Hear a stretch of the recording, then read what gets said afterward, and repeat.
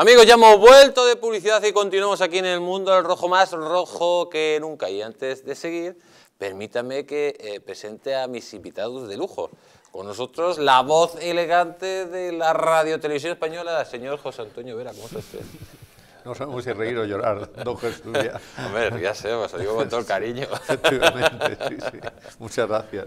¿Qué tal? ¿Cómo ve usted todo lo que está pasando? Que nos están espiando en este momento. Sí, ¿no? sí, sí. Y no nos damos cuenta. Madre mía, como saquen todo lo que hablamos nosotros en privado. Marruecos, Marruecos, está detrás, anda detrás de usted, Sí, sí, le sí. veo. No, no, que, que tengan cuidado porque preparamos ahí un levantamiento en el Sahara brutal para echar el sátrapa y llevar la libertad, aunque sea difícil, a- al Es Sahara. ¿no? casi, casi imposible, sí. Porque claro, o sea, si, si llevamos la libertad tenemos que echar a los marroquíes y al frente saharaui. Sí, sí, sí. Es complicado. Sí, sí, sí, sí. Podemos encargárselo a Zelensky, que es un experto en esto. Eso, podemos coger a Zelensky, que es un líder espiritual de estos potentes, y liderar esa rebelión en el Sahara para llevar la libertad. Eh, don, José Antonio, don José Antonio Vera, con nosotros también don Pedro Luis Pedrosa. ¿Cómo está usted, don Pedro Luis Pedrosa? ¿Qué tal, don Jesús Ángel? Buenas noches. La voz que grita desde el otro lado del Atlántico. Ahora de este lado, pero a, a ver si me escuchan por allá. ¿Le escuchan o no le escuchan? Bueno, pues parece porque hay, hay programas tuyos que, que generan un revuelo y, y- y- y- y te acusan de cosas que no hacen. Bueno, Al- algo, de- algo debéis estar haciendo No. bien. nosotros, eh, no- yo soy católico, apostólico y romano. Y es verdad. Romano de Madrid, claro. De romano de Madrid. claro. Es que España es muy... eh, Es que- pero- lo- los mejores hijos de Roma. y además del Real Madrid. y ahora más que nunca. Claro, claro. Pero lógicamente eh, hay cosas que no me gustan de, de la jerarquía de la Iglesia, de algunos jerarcas de la Iglesia. Y por lo supuesto. Sí, por lo ejemplo, que los obispos españoles hagan mutis con el tema con 100.000 chavales que se cargan todos los años abortados, este, eh, es de preguntarse qué, qué está haciendo la cúpula de la iglesia. Exactamente. Y es de preguntarse, amigos, de lo que está pasando en España. Atención a esta noticia que ya ustedes ya le hemos adelantado. Dicen que el espionaje de la Sánchez apunta directamente a Marruecos y pone en duda la continuidad de la directura del CNI. Dice, seremos firmes para garantizar su seguridad ante cualquier desafío, ante cualquier eventualidad y bajo cualquier circunstancia. Pedro Sánchez pronunció esas palabras en plena crisis con Marruecos el 18 de mayo de 2021, cuando miles de personas entraban en Ceuta en una maniobra de desestabilización de la frontera como respuesta a la acogida humanitaria del líder del Frente Polisario, Brahim Gali. Un día después, el teléfono del presidente era infectado por un software llamado Pegasus y 2,6 gigas de información interceptados en el móvil de Sánchez. La noticia se ha conocido un año después, que es, según el Gobierno, cuando el Centro Nacional de Inteligencia ha abierto un proceso de verificación a raíz de la revelación del espionaje a través de ese sistema que ha afectado a más de 60 personas vinculadas al independentismo. Esta investigación no se llevó a cabo con el nivel de exhaustividad que se ha empleado estos días, ni siquiera en julio de 2021, cuando una filtración reveló que varios presidentes, entre ellos el francés Emmanuel Macron, habían sido objeto de espionaje a través de Pegasus. Es una de las lagunas que tiene el relato del Ejecutivo y por ende del CNI. La fecha en la que se produjo la intrusión en el aparato de Sánchez y el señalamiento a Marruecos en el intento de espionaje a Macron hacen que todas las sospechas recaigan sobre el reino aragüí. A eso hay que sumar que en esas mismas fechas el teléfono de la ministra de Exteriores, Arancha González Laya, que fue la precursora de la acogida a Gali, fue intervenido con una con un malware que en aquel momento los analistas del Ejecutivo no supieron identificar. De hecho, ese mismo día el Ministerio de Exteriores marroquí emitió un comunicado en que reconocía que la crisis con España obedecía al Sáhara. No es admisible que haya un gobierno que diga que se atacan las fronteras, en este caso de España, que se abren las fronteras para que entren 10.000 inmigrantes en menos de 48 horas en una ciudad española como es Ceuta, por desavenencias y diferencias, discrepaban en política exterior. El pasado martes, The Guardian ha hecho público los resultados de una investigación según la cual un solo cliente de la empresa israelí NSO que vende el programa Pegasus seleccionó como objetivos 200 números de teléfonos españoles. Entre ellos estaba el periodista español especializado en el Magreb, Ignacio Zemberro, y la activista saharaui Amitau Aidab. Pues ahí tenemos la noticia, amigos. ¿Es Marruecos el que está detrás de todo esto? ¿O es la prensa? Porque esta noticia es del diario.es.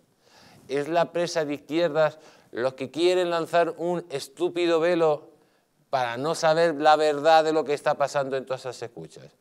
Porque luego más adelante veremos quién puede ser el que esté detrás de las escuchas. Y seguramente que nos está escuchando a todos. Y que le dio la información a Marruecos. Y que le condicionó luego a Sánchez para dar el Sáhara a Marruecos. Señor Vera. Pues eh, es eh, perfectamente posible que sea Marruecos, claro que sí. Lo de Ignacio Zembrero y lo de la ministra González Laya, si ya lo han hecho en una ocasión con estas eh, personas, ¿por qué no lo van a hacer perfectamente con el presidente del gobierno y con la ministra de Defensa? Ahora, ¿usted cree que eso lo van a reconocer? No van a reconocer nada de Marruecos. Si fuese, ¿qué le digo yo? Pues no sé, le echarán la culpa, seguramente le van a echar la culpa a Putin, que como casi todo se le echa la culpa a Rusia, la tenga o no, que es posible, también perfectamente podría, podría ser responsable, porque también se han dedicado a esto y se dedican, como los americanos. Pero yo creo que sí, que es muy creíble que sea Marruecos, lo que pasa es que eso no se va a reconocer nunca, porque reconocer que es Marruecos implica que hay que plantarle cara a Marruecos. Y usted ve que España, el señor Sánchez y, y el ministro de Exteriores estén capacitados, sí, pero estén en disposición de plantarle cara a Marruecos? de ninguna manera. Por tanto, no se va a reconocer nunca. Marruecos seguro que ya está claro que nos ha espiado por el tema de González Laye, por el tema del señor Zembrero, pero eh, aunque tengan la constancia, que la pueden tener ya incluso, porque ha pasado un año de todo esto, imagínase si en un año no han tenido los servicios secretos españoles y el Instituto Criptográfico no han tenido tiempo para descubrir quién ha sido el que ha estado espiando al presidente del gobierno español, a la ministra de Defensa y ya también, porque ya se ha sabido, también al ministro del Interior. Y seguramente más ministros. Pues si es Marruecos, no se va a, no se va a reconocer nunca, porque aquí no hay agallas como para plantarse delante del señor eh, rey de Marruecos y decirle, oiga, que esto que se ha hecho no se puede hacer, porque eso significa una crisis diplomática. Y después de habernos entregado completamente a Marruecos, como lo hemos hecho, pues eh, a ver en qué cabeza entra que ahora el gobierno va a retroceder y a hacer lo contrario. Para nada, no se va a reconocer. Eh, señor don Pedro Luis, bueno, que... Yo, yo, le quiero hacer la siguiente pregunta. En el supuesto que sea Marruecos el que ha intervenido a Sánchez los teléfonos, puede que haya obtenido información esencial de Sánchez que le haya condicionado y que haya sido la base del chantaje para que se entregue el Sáhara? Por supuesto. Lo que pasa es que lo, primero que iba a decir es que uno cuando cruza el charco, como decíamos en la presentación, no se imagina que se va a conseguir este tipo de cosas.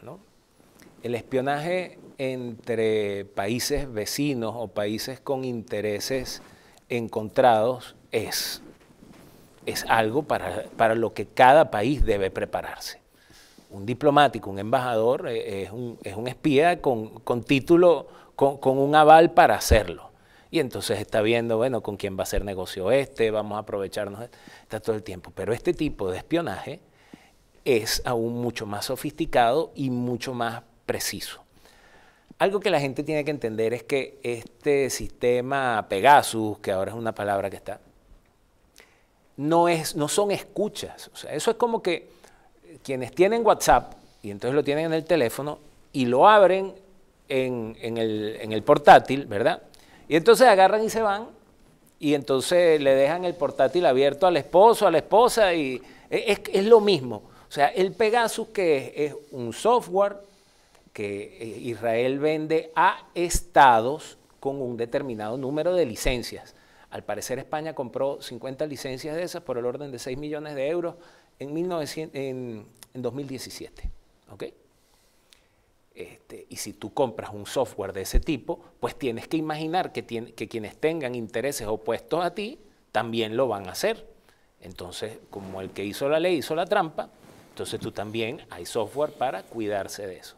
Entonces no es que escucharon a Pedro Sánchez, es que si Pedro Sánchez se hacía selfie en el baño de la Moncloa o, este, o tiene una moza, o, todo eso, porque desde donde le abran el teléfono, acceden a todas y cada una de las aplicaciones del teléfono, los WhatsApp que se manda, si lo mandó por mensaje encriptado, si no. Entonces, lo que es curioso en todo esto y es en el cómo se manejan los tiempos es que ocurre un cambio de la política exterior tradicional de España hace apenas unos meses. Sale el artículo de, de New Yorker. Lloran los separatistas, sediciosos, delincuentes catalanes e inmediatamente al ministro Bolaños no se le ocurre otra cosa sino agarrar y decir, somos unos pringados y a nosotros también nos espían. Entonces, eh, se abrió una, una, caja de Pandora. Bueno, yo no sé, ahorita que viene la cumbre de la OTAN, no sé, le llamarán Paco en vez de Antonio, porque, porque o sea, el ridículo que hace el gobierno de España, porque él ya sabe que lo espiaron hace un año, y el ministro que se gasta de presidencia viene y lo revela. O sea, esto es alucinante. O sea, uno no se imagina que al cruzar el charco te vas a conseguir esto en Europa. Entonces, es vergonzoso. Si se dejaron espiar, es vergonzoso. Y si es una mentira, es aún más vergonzoso. Pero en definitiva, nos vamos a ver cuánto les dura, porque con estos, con esto, nos van a tener distraídos de los verdaderos y reales problemas de España por muchísimo tiempo. a ver por cuánto tiempo los telediarios abren con, con la palabra Pegasus. Pues amigos, han escuchado a nuestros invitados en una primera intervención, pero vamos a darle un poco más, una vuelta de, tuerca a todo esto.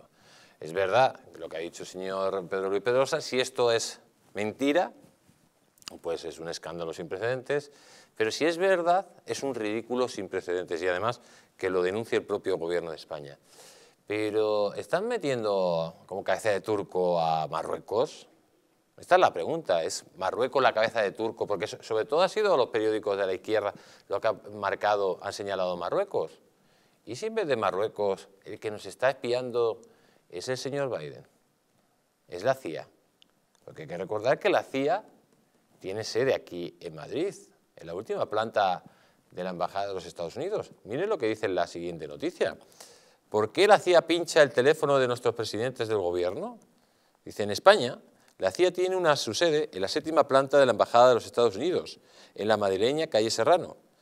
El escritor y periodista Fernando Rueda, autor de obras como Al servicio de su majestad, eh, La familia real y los espías, en su último libro ha publicado que hasta la fecha eh, asegura que el acceso a este lugar es complicado, puesto que el ascensor no lleva directamente ahí. En estas oficinas trabajan una treintena de funcionarios, aunque es muy complicado imaginar que alguien pueda saber el número exacto dice que uno de los asuntos en los que los dos países mantienen posiciones diferentes es la política de España en la OTAN, que pensamos en estos momentos sobre el asunto de Rusia. Aunque seamos aliados, la CIA informa a la Casa Blanca sobre lo que piensa el presidente del Gobierno y los ministros de España. La CIA nos espía en todo lo que puede, asegura el experto.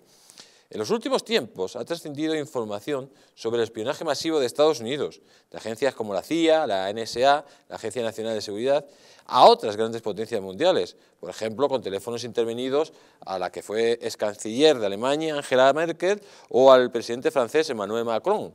Al presidente español, a Pedro Sánchez, o antes a Mariano Rajoy, también le han pinchado el teléfono. Los norteamericanos, la respuesta de Fernando Rueda es contundente, sin ninguna duda. El hecho de que sean amigos nuestros no implica que ellos quieran conocer información sobre problemas que consideran que les afecta, como la Unión Europea y sus políticas. Y no se trata solo de asuntos en materia de defensa, también en temas comerciales. Cuando se supo que había espiado a Merkel y a Macron, el jefe del Servicio Secreto Español dijo que él creía que no habían espiado a Mariano Rajoy, pero no existe la certeza, le cuenta Rueda a Arjona. Lo cierto, amigos, es que los Estados Unidos nos espía día sí y día también. Y si los Estados Unidos espían, a lo mejor tienen información, sobre todo nos están espiando porque no se fían de Pedro Sánchez. ¿Ustedes se fiarían de un tipo que tiene en el gobierno a terroristas, a golpistas y a un partido franquicia de Venezuela? Pues no, son enemigos directamente de Occidente. Por lo menos Podemos. Podemos ha puesto del lado del señor Putin y Podemos es un partido franquicia de una narcodictadura. Tiene que estar espiado día sí día también. Y además está aliado con golpistas y con los amigos de los terroristas. ¿Puede ser que los Estados Unidos sean lo que están detrás de estos eh, espionajes y no quieran decirlo, quieren tirar el bulo o marcar a Marruecos. Eso sí, está claro que siendo Estados Unidos el aliado principal de Marruecos, le habrá pasado toda la información sobre todo lo que es Pedro Sánchez y si tienen información extra de él para chantajearle, para que ceda al Sáhara también, ¿no? Don Pedro Luis lo ha dicho antes con claridad. Es decir, en el mundo, en el mundo de la diplomacia, que está muy bien llamarle diplomacia, ¿no? Pero en Entre realidad, comillas. pero en realidad todos los diplomáticos son espías, se dedican a eso, unos más que otros, también es verdad, ¿eh? porque, en fin, en principio los embajadores no tendrían por qué em, ejercer ese papel tan directamente y depende, por supuesto, de la embajada. Pero los diplomáticos, hay mucha gente que está en las oficinas eh, de las embajadas, en las, en las oficinas diplomáticas y se dedican a hacer esa tarea. Eh, es una parte de su trabajo. Secretarios Eh, políticos le llaman. Claro. Entonces, que, hombre, es evidente que los de la CIA, lo que pasa es que son auténticos profesionales. Aquí hay cuatro o cinco servicios de inteligencia que están por encima de, de todos los demás, ¿no? que son la CIA, los rusos, los israelíes, los británicos y... El, M- el MI5, el el- MI5 y, y, bueno, alguno más nos falta. Eh, pero en fin, esos básicamente. Los chinos también, son, espían ahora sin parar, claro. Entonces aquí espía todo el mundo. Que, Hay que- una película que se llama Espía como puedas. espía como puedas, sí.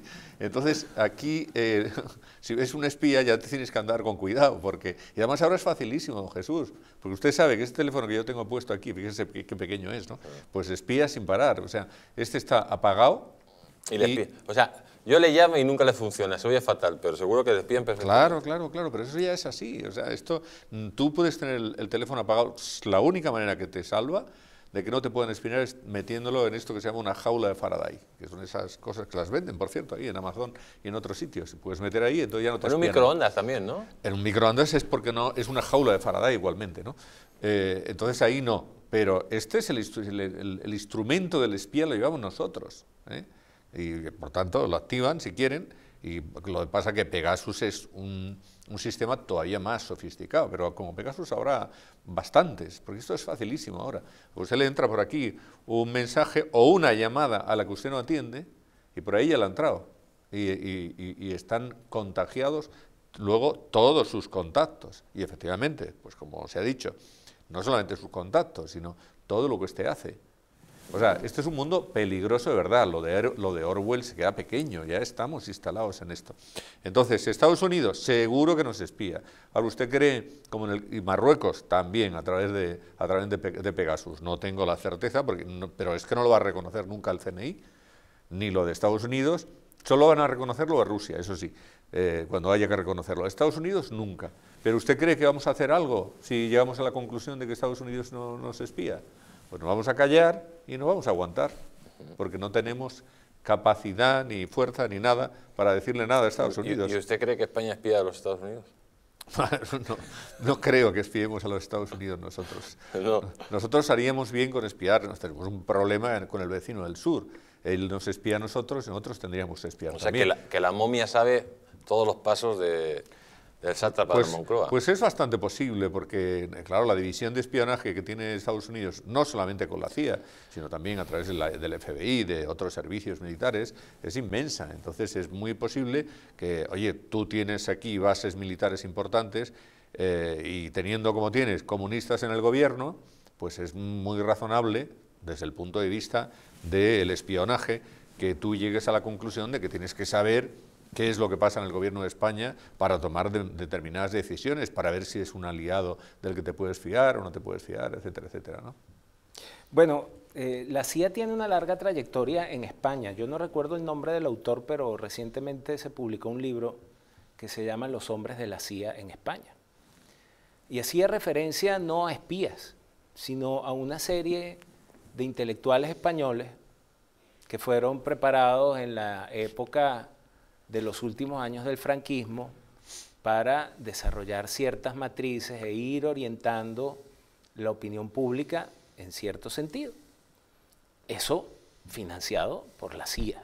Y la CIA se monta ese tipo de operaciones, porque una de las cosas más importantes para hacer inteligencia es hacer cosas que no parezcan que son lo que en realidad son.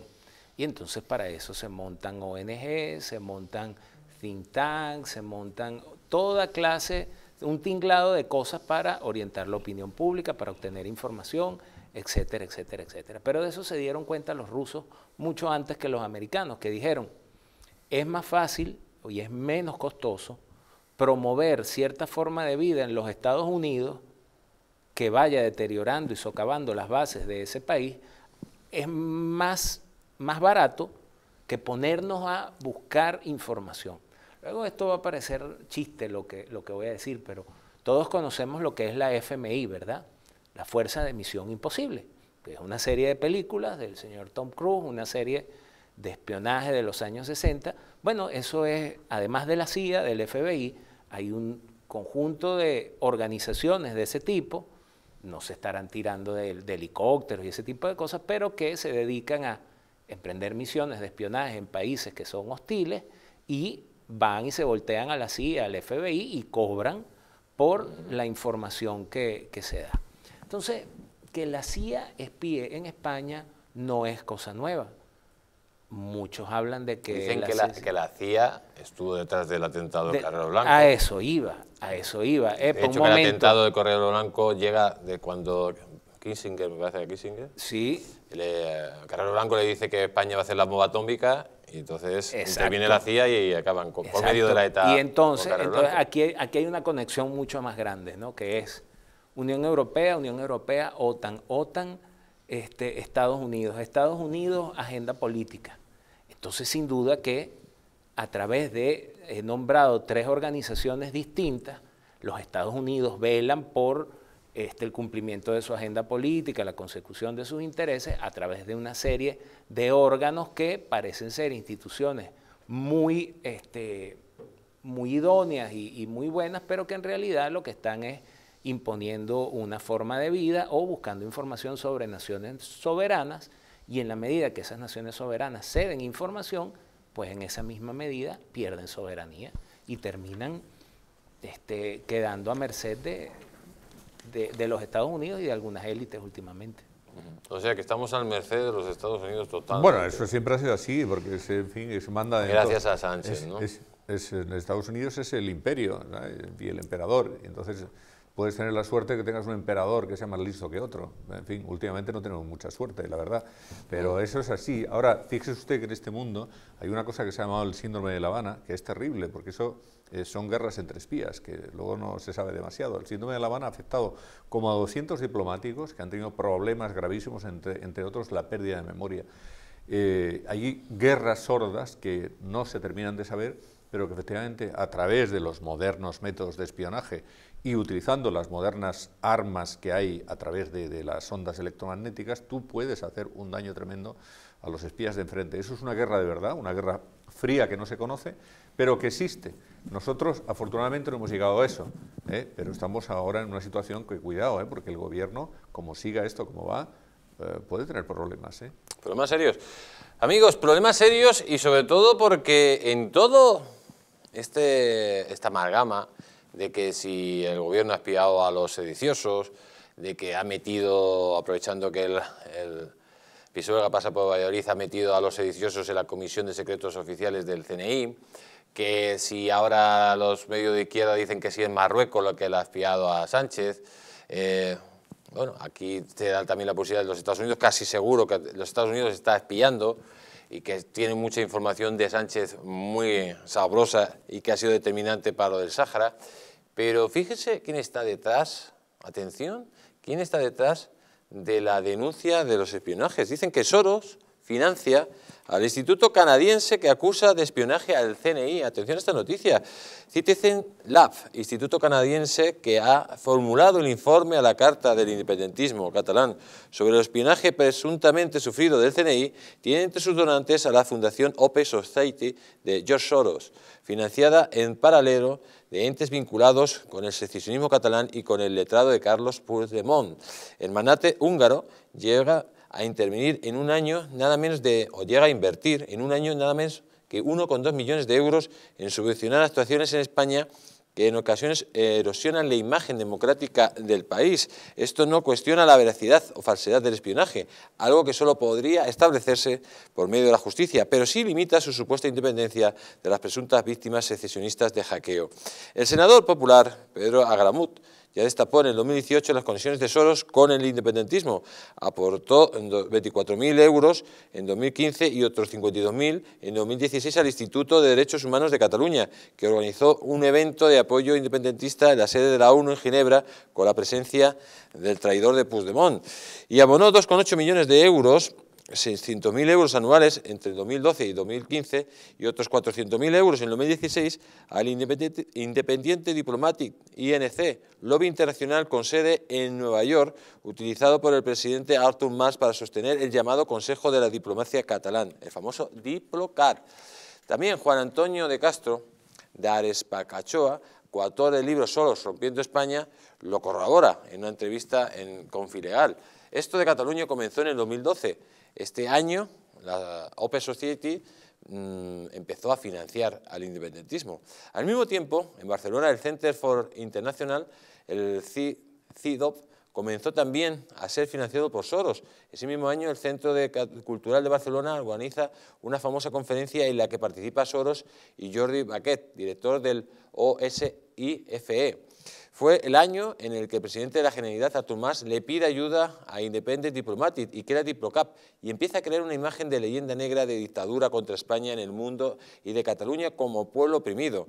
Uno de los presuntos espiados por Citis Lam es Gonzalo Boye, defensor de eh, Puigdemont. Casualmente Boye es uno de los letrados del observatorio en este, que está financiado también por Soros.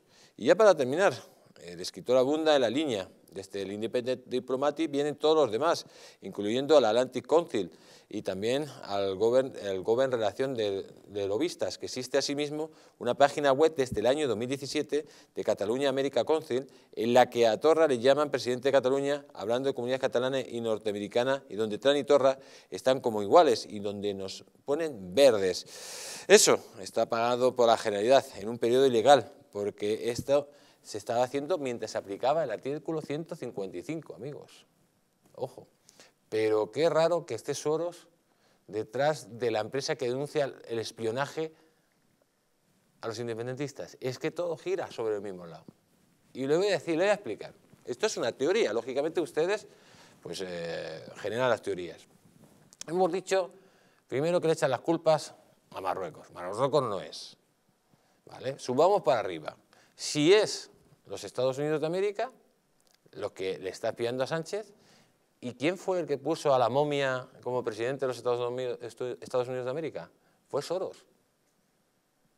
Y por lo tanto, amigos, está todo, todo fluye, toda la información fluye. Señor Vera, Soros de nuevo metido en esta denuncia sobre el espionaje a los independentistas, pero al final todo es lo mismo. Todo gira sobre la misma pieza. Sí, no, es que el nombre de Soros aparece constantemente por todas partes, ¿no? sobre todo además en operaciones, y ahí lo ha, reseñado usted muy bien, eh, como por ejemplo la de Cataluña, porque siempre se habló mucho de que quien estaba espiando Cataluña era Putin, que podría ser, ¿no? a través del, en fin, de sus bots o como fuere, eh, pero de quien ha estado detrás financiando al independentismo catalán, igual que ha estado haciendo lo mismo en Ucrania con el, nacionalismo ultra-ucraniano, ha sido Soros. Igual que Soros ha estado detrás de todo el movimiento que, hubo en Yugoslavia para la desintegración de Yugoslavia. Porque el pensamiento de Soros es el pensamiento del globalismo. Hay que establecer un poder global eh, que sea muy, muy fuerte y para eso hay que tener estados débiles. Mientras más débiles, mejor. Por tanto, si en vez de tener un Estado potente como Yugoslavia tienes una multiplicidad de regiones divididas, pues mejor que mejor. Si eso lo tienes también en Ucrania, mejor que mejor. Y si eso lo tienes en Rusia, pongamos por caso, mejor. Y si lo tienes en España, mejor que mejor todavía. Lo que pasa es que esto es una, una contradicción enorme, porque fíjese usted que el presidente del gobierno es un aliado natural de Soros. El presidente del gobierno recibe a Soros, es la primera persona a la que recibe. ¿Eh? Dice usted que Soros manda en Biden, No- seguro. No un jefe de Estado, sino a George Soros, el, que- el- el primero que recibe Pedro Sánchez. Sí, sí, no a ningún jefe de Estado, no al rey de Marruecos como ni al, de, al presidente de Francia, no. No, no. Recibe a Soros. ¿eh? Y se ha reunido con su hijo varias veces después y seguramente con él también. O sea que predicamento en Pedro Sánchez tiene una barbaridad de predicamento, que no lo ha explicado nunca, porque un personaje que a mí me parece que es un personaje peligroso, porque está detrás de todos los movimientos de desestabilización que se han producido en el mundo, y sin embargo parece que es como una ley de la democracia este tipo. Es que es impresionante. Oiga, ¿alguien va a investigar alguna vez al señor Soros por las cosas que hace con relación a todos los conflictos en los que está en sus manos a través de la Fundación Open Society? Porque en, en Ucrania lleva toda la vida Soros, con, unos intereses enormes. No, pero esto pasa desapercibido. Soros es el aliado natural de Sánchez, de Macron, de Trudeau y de, tanta, de Biden y de tanta gente. Los intereses de, Soros con relación a España es romper España, porque estaban a favor del independentismo catalán. Y sin embargo el, el presidente Sánchez estaba aliado con él. Entonces, mm, bueno, a veces no queremos ver cómo son las cosas. A mí no me extrañaría nada que el señor Soros, a través de cualquiera de sus manos, de sus empresas o fundaciones, estuviera detrás de todo lo que está ocurriendo también en España. ¿Por qué no? Es que lo ha hecho con anterioridad. Bueno, yo en este particular no sé si los burros van delante y las carretas detrás o viceversa, ¿no? Porque lo que, lo que nosotros llegamos a aceptar en algún momento como parte de la democracia y como mecanismos de mejoramiento del sistema, no sé si aparecieron primero las ONG o si son una construcción de este personaje. ¿Por qué? Porque si aparecieron primero, entonces este individuo vio una oportunidad de, se- de desestabilizar países, porque al final una ONG para funcionar necesita recursos. Y alguien dijo, yo los tengo. Pero ahora como yo te los doy, te arrodillas ante mí. Entonces no sé si fue que primero aparecieron las ONG y luego Soros las financió, o si es una creación, no solo de Soros, porque de paso, Soros termina siendo la cara de un grupo de muy, muy, muy ricachones, creo que se llama Cristina Martín, quien este, tiene un libro muy detallado. aquí. Este, Cristina Martín, me parece que no me acordaba de- del Sí. apellido. Sí. Que Es Martín, no Martínez. Martín, que dice no son solo, son los so- eh, es Soros, son los Rockefeller, este, hay que ponerse... Los Rothschild, que sabe usted, los que sabe usted, ¿dónde trabajó Macron? En la banca Rothschild. Eh, eh, bueno, eh, y que son dueños de los fondos de los bancos centrales de un montón de países y que se han hecho mil millonarios espe- especulando y creando monopolios. Bueno, pues están metidos en todo esto. Y usted hizo un resumen, pero lo interesante es que la audiencia entienda.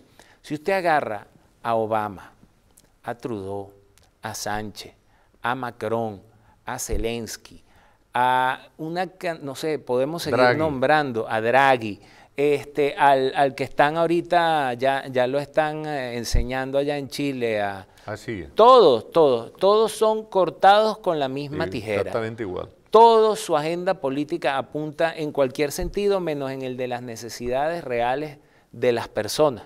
Yo digo, bueno, agenda animalista, ok, tengamos caballitos todos muy bonitos, pero comamos eso, ya saben, ¿no? O sea, la gente no interesa, lo importante es el animalismo, este, que haya muchas, muchas parejas homosexuales, así estén pasando hambre, que haya muchos, muchos, muchos niños abortados, esa es la agenda de ellos. Y todos son cortados por la misma tijera. Y todos tienen detrás de ellos la mano de este señor que probablemente es el que dijo, no importa, soy yo el que doy la cara, pero que es la cara de un tinglado mucho más grande y mucho más peligroso. Pues amigos, estamos escuchando a nuestros invitados, pero vamos a seguir, vamos a cambiar ahora de tema y vamos a pasar a hablar de lo que pasa en Rusia. La primera noticia que le voy a leer dice que Rusia asalta la planta de Azostal para exhibir la victoria sobre Mariupol el 9 de, de mayo, que es el día de la victoria de los comunistas sobre los nazis. Eh, tenemos otra noticia, dice Estados Unidos ayuda a Kiev a eliminar a generales rusos soberbios, desprotegidos inexpertos. Bueno, es, un juego de palabras lo de soberbios, no lo entendemos. Y Y esta otra noticia, fíjense ustedes, estos son los dos bloques que se formarían si hay una tercera guerra nuclear.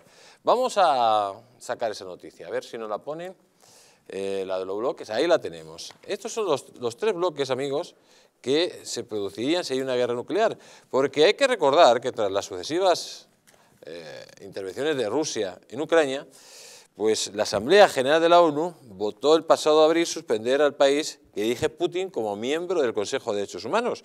Así las cosas, la propuesta salió adelante con 93 votos a favor, pero hubo 24 en contra. Además, hubo 58 Estados miembros que se abstuvieron de la votación e incluso algunos que ni se pronunciaron, algo que puede dar pistas de futuros movimientos ante el estallido de una posible contienda mundial. Entre los países, eh, bueno, que, se abstuvieron, pues por ejemplo está México, Brasil, Egipto, la India, Arabia Saudí, Sudáfrica, Emiratos Árabes, Tanzania, etcétera, etcétera, etcétera. Y se unieron a los 20, si estos países que se han abstenido se unieran a los 24 contrarios a la resolución, pues lógicamente estaría muy igualada esa guerra mundial. Porque hay que recordar que hubo países, los países que votaron en contra, por ejemplo Argelia, votó en contra, Bielorrusia, Bolivia, Burundi, República Centroafricana, China, Congo, Cuba, Cuba, Corea del Norte, Eritrea, Etiopía, Gabón, Irán, Kazajistán, Kirguistán, Laos, Mali, Nicaragua, Rusia, lógicamente, Siria, Kazajistán, Uzbekistán y Vietnam, además de Zimbabue. Atención amigos, porque lógicamente esto puede, puede llevar a un auténtico conflicto de dimensiones brutales. Por un lado, parece que la guerra en, el Donbass pues va a terminar eh, la toma de Mariupol, de esa acelería, eh, están haciendo ya enfrentamientos cuerpo a cuerpo. Por otro lado, según las indicaciones que nos dan los, nuestros informadores sobre el terreno, dicen que el ejército ucraniano en el Donbass está a punto de ser embolsado por el ejército ruso. Si se tomara ya definitivamente Mariupol, que ya prácticamente está tomada, pues el siguiente paso sería ir a por Odessa y esto no sé si acabará el 9 de mayo, que yo creo que no, pero puede ser definitivo para el, gobierno de Ucrania la toma de eh, Mariupol y sobre todo el dejar embolsado a esas tropas en, en el Donbass. Señor Vera, muy rápido porque vamos a conectar en breve con don Roberto Centeno. No, bueno, sí, yo, creo que es casi, es muy complicado que la, guerra ojalá no terminara, pero mañana mismo, ¿no? Pero para el día 9 me parece que, que los rusos efectivamente quieren tomar el, Donbass entero, eh, Mariupol lo tienen ya tomado y le falta lo de la acería, pero eh, dado que no hay un acuerdo para el desalojo de los eh, civiles que a quien le interesa más el desalojo de los civiles es a los rusos, porque de esa manera pues, pueden declarar las hostilidades de una manera abierta contra los combatientes que queden allí. Pero el objetivo que tienen eh, después, y que creo que no lo van a dejar mm, sin cumplir, es el, como usted ha dicho, llegar hasta Odessa para enlazar con Transnistria, eh, y, quedarse con todo el sur y con todo el este de lo que es Ucrania. Ese me parece que es el objetivo. Eh, les puede salir, no les puede salir, se, puede complicar mucho, etcétera, etcétera, pero si si, no se dan las condiciones desde el punto de vista de que no pueden avanzar, primero porque las, cosas se han complicado mucho y porque hay que tener en cuenta, como usted bien sabe, que efectivamente la OTAN y Estados Unidos están absolutamente detrás del gobierno de Ucrania, apoyándole desde, por todas partes. Entonces las circunstancias se complican. Yo no veo que para el día 9 eso pueda estar terminado. Me parece complicado, la verdad.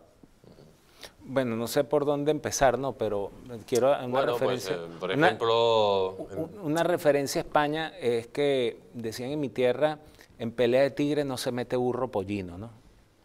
Entonces, ese afán de todo. comparando a España con un burro pollino? Eh, bueno, lo que, no, lo que estoy diciendo es que eh, estoy comparando, sí, porque hay una pelea de tigres, porque la pelea no es entre Rusia y Ucrania, la pelea es entre Estados Unidos empujando a toda Europa a una guerra y entonces este, esa tradicional neutralidad de España o no te metas aquí que tenemos suficientes problemas como para meternos en ese, está quebrantada por un afán de, como dicen por ahí, ser más papista que el Papa. Eso por un lado. Por otro lado, lo que está ocurriendo es, como acabo de decir, una confrontación violenta y deliberada entre dos potencias no es la pobrecita, o sea, Ucrania es un instrumento, en este caso de los Estados Unidos, para llevar adelante un plan que lo empezaron a ejecutar con la propia caída de la Unión Soviética, porque le prometieron a Rusia, no nos vamos a extender más allá de Alemania. Y ya son 17 países que se han anexado tanto a la Unión Europea como a la OTAN más allá de Alemania. Entonces, en medio de eso están los intereses de un país que ya está siendo destrozado, como lo es Ucrania, en el cual se llevó a cabo un golpe de Estado financiado por el señor Soros, de paso, que terminaron llamándolo románticamente Euromaidán. Y por otro lado está la pretensión de un país gobernado por un autócrata y todo lo que tú quieras, pero que no quiere ser fracturado en cuatro pedazos, que es el plan que la CIA y los servicios de inteligencia de los Estados Unidos y el Departamento de Estado siempre tuvieron para Rusia. Y en medio de eso está ese país, Ucrania, y está un montón de ciudadanos de la Unión Europea dirigidos por unos señores que no están pensando más que verse en el ombligo y que no están pensando en lo que verdaderamente está ocurriendo. Pues ahí tenemos las palabras de nuestros invitados eh, y amigos. Esto se va a calentar porque ya tenemos al otro lado de Sky a don Roberto Centeno. Don Roberto, buenas noches. Muy buenas noches. No lo tenemos, no lo tenemos en pantalla, parece que estamos teniendo problemas. Mientras tanto, yo voy... Ah, ya la tenemos ahí. Don Roberto, deje de toquetear el ordenador. Bueno, eh, me, obligas, me dices que no me ves, eh, así que... Eh, ahí está bien, ahí está bien, ahí está bien, no toque nada. nuevo, venga. Don Roberto, quiero leerle la siguiente noticia. La dura arremetida de China contra Estados Unidos. La OTAN ha arruinado a Europa. Dice el gobierno chino, que se está mostrando cada vez más agresivo con Occidente, su tradicional cautela a la hora de evaluar los acontecimientos de política internacional poco a poco ha ido cambiando hacia posturas más asertivas, especialmente tras la mayor implicación de Estados Unidos en Asia. Este mismo viernes, el Ministerio de Relaciones Exteriores de China acusó a la OTAN de arruinar a Europa y de provocar conflictos en las regiones de Asia y el Pacífico. Don Roberto, ¿qué opina usted de, de que China se esté poniendo cada vez más brava y que acuse directamente a la OTAN de arruinar a Europa. Bueno, vamos a ver, eh, no es una cuestión de opinión, esto son eh, matemáticas. ¿eh? La OTAN está arruinando a Europa, literalmente, está arruinando a Europa. Bueno, es que eso lo puede ver cualquiera.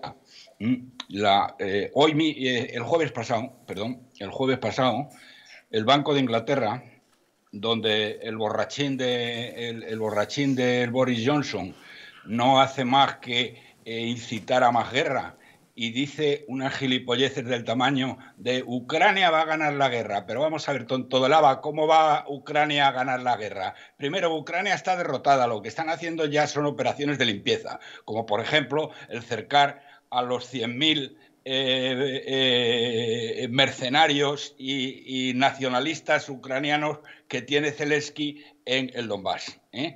Bien, entonces el Banco de Inglaterra, en concreto, ha dicho hoy, ha dicho hoy, perdón, hoy, el jueves pasado, dijo el jueves pasado, que subía los tipos de interés y que la situación de empobrecimiento de las familias británicas empieza a ser pavorosa y que a fin de año, mm, sobre todo eh, el, tercer perdón, y cuarto trimestre del año van a ser negativos, es decir, que Gran Bretaña va a entrar en recesión. Esto les pasa a, estos eh, individuos, pero es que el resto de Europa está, va de mal en peor. El empobrecimiento es que lo estamos viendo todos los días, cuando vamos al supermercado, cuando vamos a la gasolinera, cuando vamos a cualquier sitio. ¿eh? Y lo malo no es eh, solo el empobrecimiento. Lo malo, lo malo es que la OTAN ha estado acostumbrada de siempre ¿eh? a destruir lo que le ha venido en gana. Destruyeron la antigua Yugoslavia donde mataron a más de 50.000 civiles ¿eh? y fueron y atacaban desde donde les daba la gana. Destruyeron Libia, que no les había hecho nada, les atacaban desde Italia, desde la base de Aviano salían los aviones para bombardear Libia. ¿eh? Destruyeron eh, el Irak y los aviones salían de eh, toda una serie de países de alrededor. Yo personalmente, yo personalmente he visto despegar de la base de Morón, porque mm, yo era entonces consejero delegado de Kansas y le suministrábamos el queroseno a, la Fuerza Aérea Americana, ¿eh? a los B-52 cargados con 30 toneladas de bombas, ¿eh? que para poder despegar de Morón, que tiene una pista mucho mayor que la de Barajas, ¿eh? tenían que apoyarse en cuatro, en cuatro cohetes que llevaban en las alas y lanzar ese, ese, esas bombas eh, que me decía un coronel americano de la base, muy simpático, eh, que el 50% eh, más o menos daban en el blanco y el otro 50% donde Dios quería. Es decir, 15 toneladas de bombas que caían en las ciudades iraquíes, mataban a niños, a mujeres, y resulta que Putin es un asesino y un criminal porque han muerto, según la ONU, ¿eh? han muerto 2.500 civiles en Ucrania. Bien, entonces, estos tíos están acostumbrados total y absolutamente a destruir países que no se pueden defender. Pero hay, amigo, es que ahora hay un país que sí se puede defender, que sí se puede defender.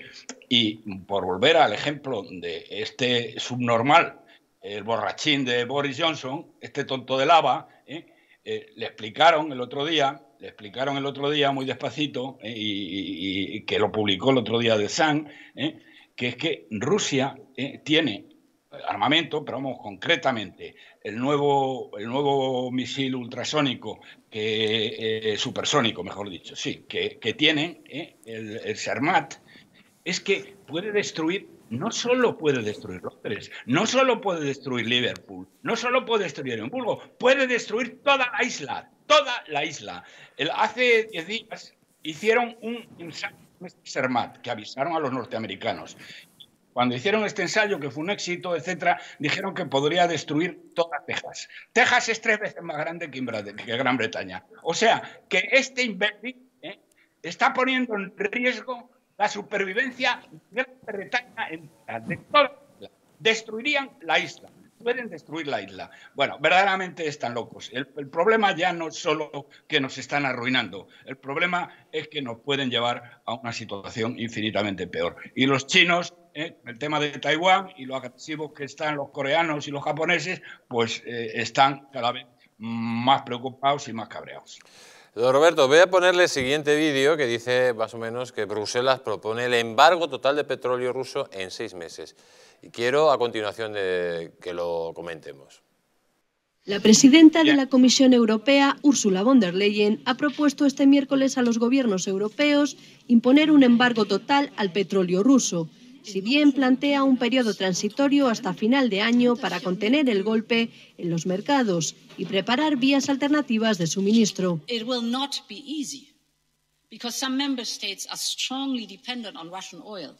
But we simply have to do it. So today we will propose to ban all Russian oil from Europe. This will be esta ruptura con el petróleo ruso se hará de manera ordenada para que los propios países de la Unión y sus socios tengan tiempo de buscar vías alternativas de suministro y contener el impacto en los mercados.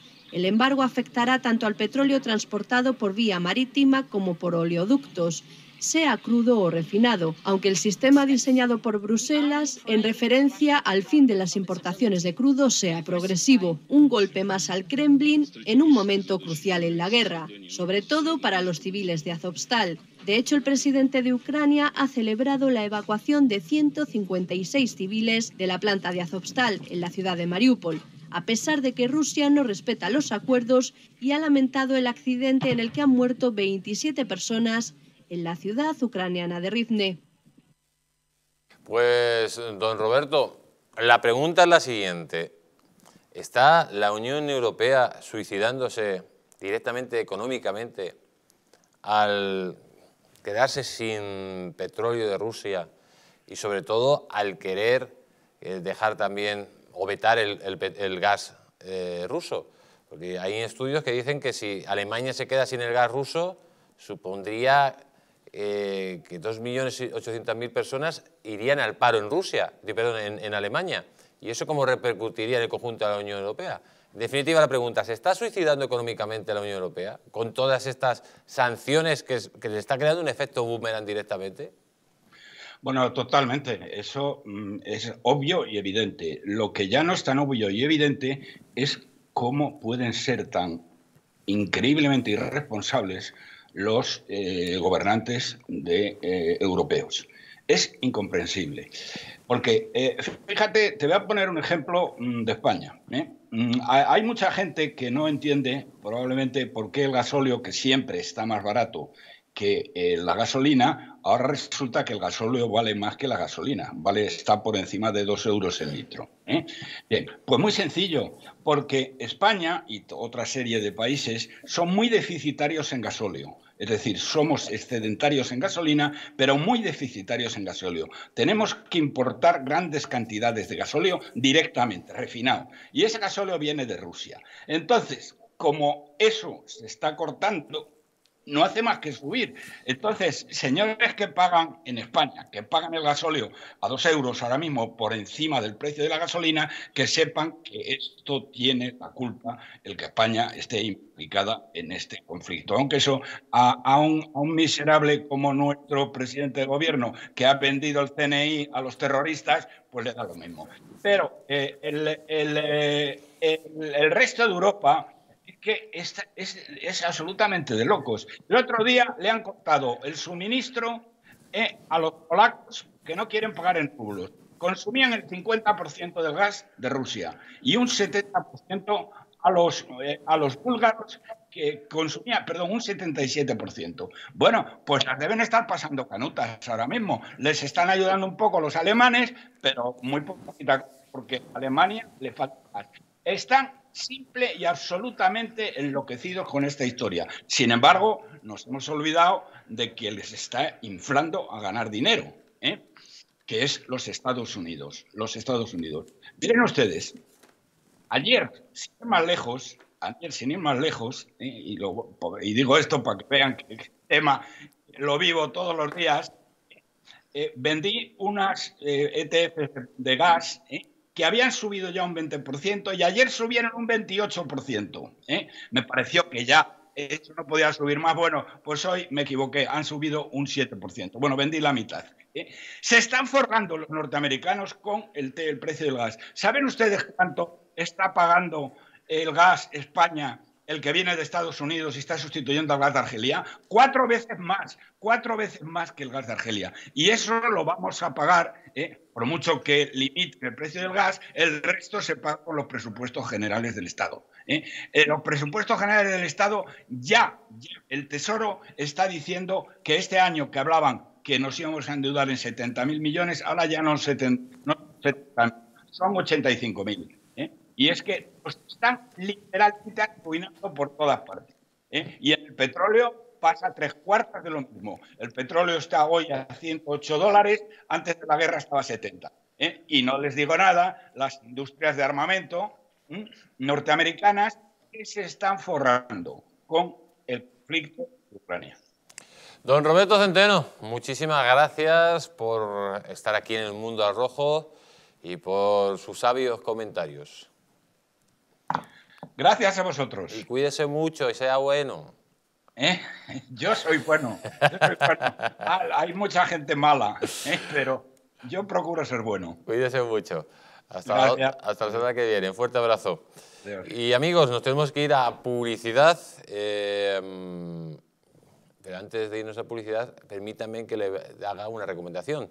Dicen que las arrugas superficiales, la flacidez o el descolgamiento de la piel son síntomas evidentes del envejecimiento, un proceso que a partir de los 40 años se acelera al reducirse la producción de colágeno por parte de nuestro organismo. Colacel Antios, de Mundo Natural, es un complemento alimenticio que aporta colágeno hidrolizado puro de alta absorción, antioxidantes, además de vitamina C, una vitamina esencial que contribuye a la formación de las proteínas de relleno de la piel, como son el colágeno, la elastina, la tropolastina o el ácido hialurónico. Gracias a su completa composición, un sobre al día de Colacel Antios produce el mismo efecto de atención que tres envases de otros productos similares.